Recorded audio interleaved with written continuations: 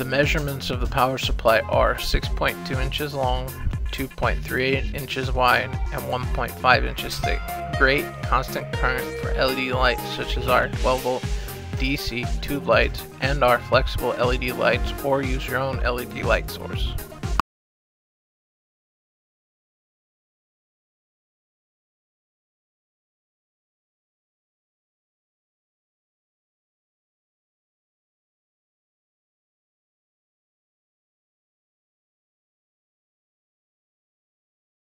The voltage range or change the fuse, simply remove the screw located at the front of the power supply to the far left away from the green LED.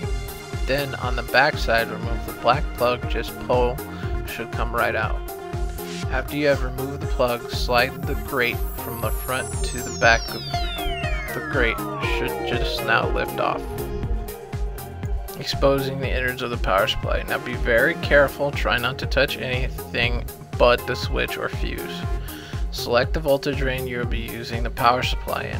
120 for US, 220